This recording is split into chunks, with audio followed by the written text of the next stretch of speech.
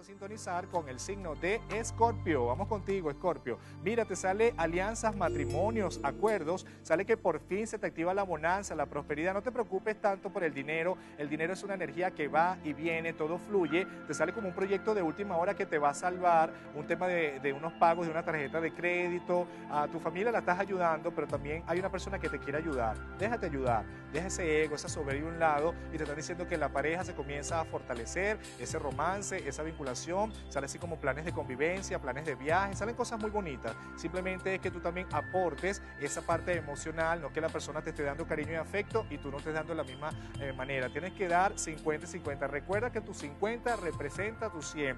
En la salud sí te tienes que cuidar un poco el tema de los pies, cuidado por donde pisas y tema relacionado con los zapatos. Yo tengo un episodio con unos zapatos como que se rompen, como que se te mojan y se te dañan. Tener mucho cuidado también en tu casa con una fuga de agua, una fuga de gas y colocar también esa, ese cuarto en orden. Poner esa cama bien tendida, poner cada cosa en su lugar para que el universo conspire a tu favor y no en tu contra. Así que ya lo sabes, un toque de luz para ti.